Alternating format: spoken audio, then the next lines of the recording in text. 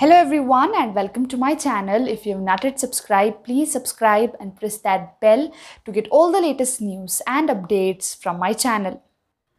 Priyanka Chopra Jonas has been away from Mumbai and Hindi film industry. The actress is currently focusing on her Hollywood career and has limited her projects in Hindi movies.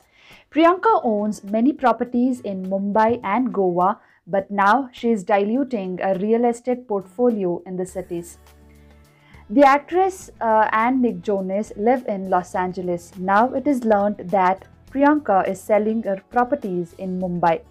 The actress has sold her two apartments. She also leased her office located in Andheri West for 2.11 lakh a month. All these deals were done by Priyanka Chopra's mother, Madhu Chopra.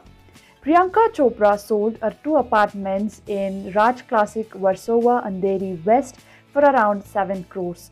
The deal was registered on March 26, 2021. Last year, the actress sold her house in Karan Apartments located in Lokhandwala complex in Andheri and Priyanka also owns a house in Juhu.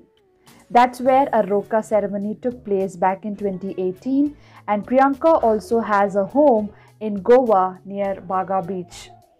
After her marriage, Priyanka moved to Los Angeles, California with Nick Jonas. They have a house in LA. Priyanka has been busy with her Hollywood projects and she is currently shooting for Citadel in London and she is also producing films in India. Priyanka was last seen in the Netflix film The White Tiger along with Rajkumar Rao.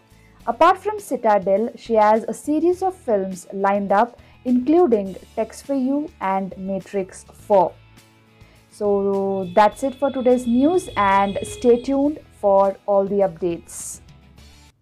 That's it for today's video. If you like the video, please hit that like button, share the video with your friends and family and subscribe to my channel for more such videos. See you soon in my next one. Until then, stay safe and stay happy. Bye guys.